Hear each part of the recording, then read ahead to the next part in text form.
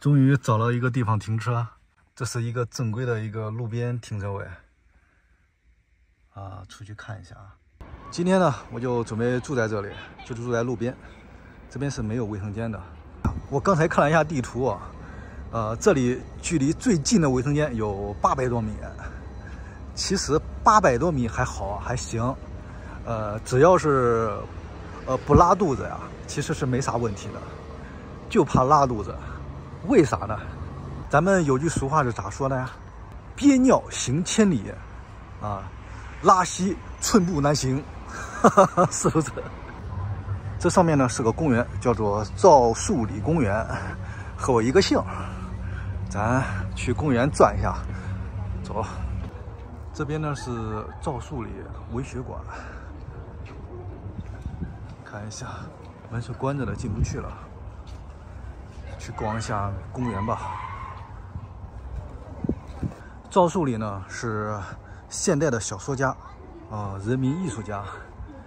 他就是啊山西晋城人。建这公园应该是为了纪念他吧。我感觉晚上没法逛公园，呃，感觉还是出去吧。黑的地方太黑了，啥都看不到，对吧？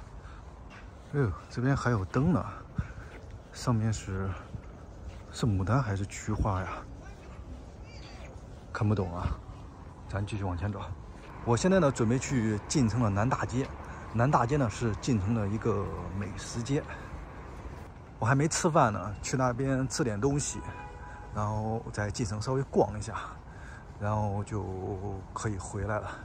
这里呢，距离那个南大街呢只有四公里啊。我准备走过去，看一下，这就是卫生间啊。我停车的地方距离这个卫生间是最近的，然后只能在这里上卫生间。这是文昌西路，这边呢是景西路。进城白天还可以，晚上挺冷的呀。我准备今天晚上吃面啊，来山西了不吃面，天理难容的。我今天呢有两种选择，要么吃刀削面，要么吃饸饹面。这是新华巷路边。挺多卖吃的，这还有饸饹面。刚才呢就有一个卖饸饹面的，主要是人太多了，然后再晚再等一等吧。现在才六点多，我不是很饿。现在呢走上来了一个过街天桥，这边呢是黄华路，这边呢是红星路，这是圣亚广场。前面好像是个步行街，过去看一下。还就是一个步行街啊，这里呢叫做义后步行街，前面是卖小吃的，这边挺热闹的呀。看一下，这边都堵车了。还有 vivo 元南海前面应该就是南大街了啊，这边还有一个公园呢。到南大街了，走一圈啊，看一下有啥好吃的。人真多啊，中间走不动，我走边上了。这边是卖衣服的，它的街还挺长的。人多不多，兄弟们？看一下它的建筑风格也挺漂亮的，是不是？这边呢就转出来了，过了马路就是北大街了。那南大街逛完了，现在准备找个地方吃饭，回我的飞度小床车了。走一下他们的小街巷。我就回去吃那个饸饹面吧，往回走。在山西吃面都是有面汤喝的，冬天喝热汤太舒服了。山西的饸饹面和我们河南那边不一样，吃着也挺好吃。饭吃完了，现在回飞度小床车，走。哇，我是骑共享单车过来的，回来了。现在又到了到了赵树理公园了，这边有个卫生间，我准备在这边上个卫生间，然后再回飞度车里。哇，太冷了，真冷啊！这天真的骑电动车不好受。现在呢，已经回到我的小床车里了，然后看一下，这就是我的小床，这是一个被啊，睡着不冷的，挺厚的一个被。备着。今天晚上就在这睡了，然后开开着天窗，还有点亮啊。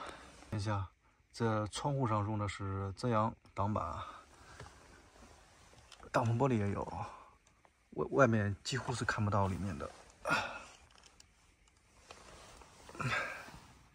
这在网上买的，现在我已经躺床上了，不是躺床上，躺躺被窝里了。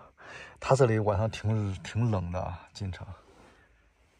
然后在被窝里躺着，我是能躺平的，然后呃不顶脚也不顶头，正好啊。所以说飞度床车呢还是可行的，还挺不错的。准备在被窝里玩会手机。然后就睡觉了，再见兄弟们，明天见啊！现在呢是早上的八点多，已经睡醒了。他这挺冷的晚上，比我们河南冷。现在也就你看一下啊，现在也就三度左右的样子。哎呦喂，哎，看一下外面，哎，准备起来了。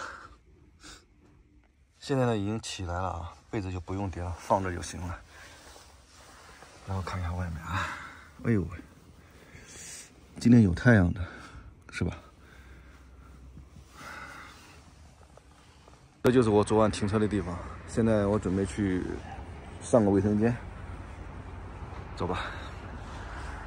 进城的早餐好像是那个牛肉丸泡方便面，所以呢，今天准备品尝一下。现在准备去晋城城区玩一天。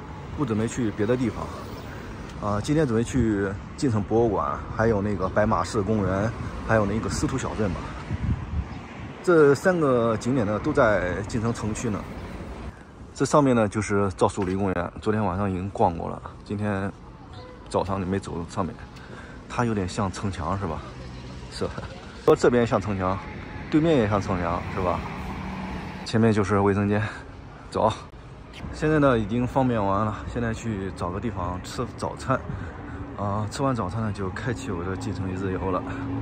还真是啊，越往北越冷，就是我们河南就没有这个山西冷。我现在睡在车里，一点都不冷。